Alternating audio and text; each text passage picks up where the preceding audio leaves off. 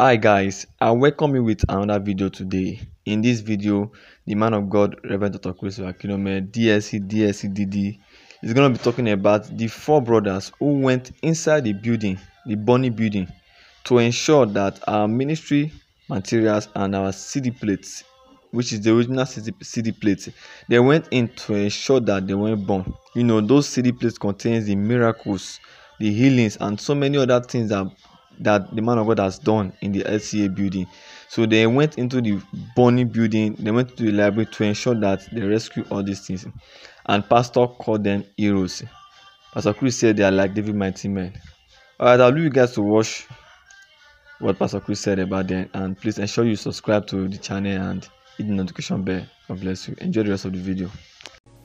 Uh, what I was what I was most blessed about with this when it happened,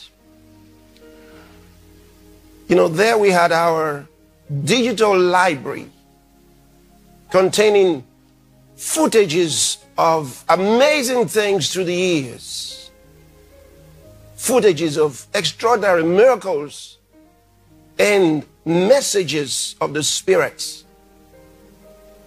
for all these many years. And that digital library was right inside there and also the library which housed the physical tapes for all these years. They were in there.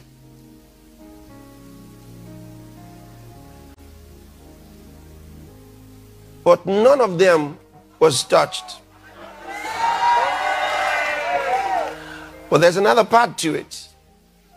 When they would have been destroyed, we had three, three of our brothers, were it three of them or four of them? Four of them.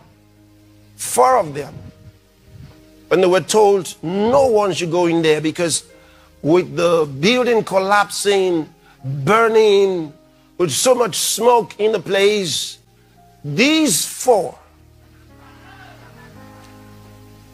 like David's mighty men, they will not be stopped. They had heard me say over the years that those materials were more important than money. They would not stop. They broke through and entered into that place.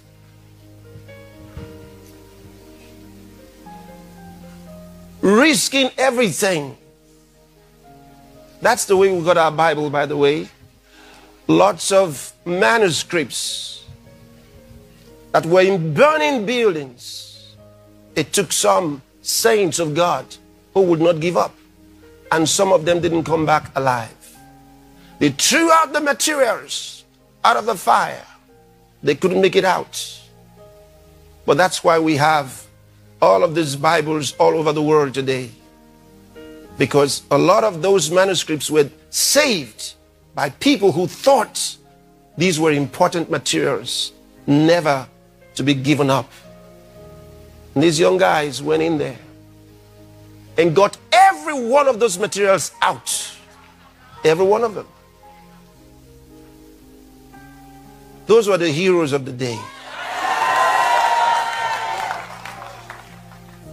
And so, for the things that mattered the most, because you see, those materials, you can't replace them. These are the originals. You, you can't redo them.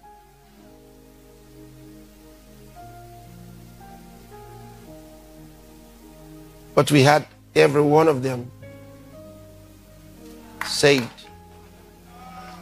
Because if you have them, you can have many LCAs. You see it? Those are the things that really matter.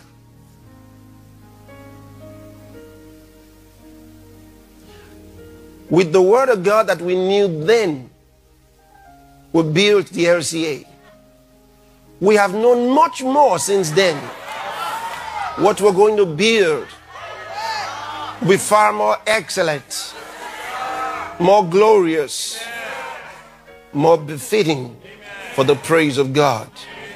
And it shall be so. Thank you, Lord Jesus. Hallelujah.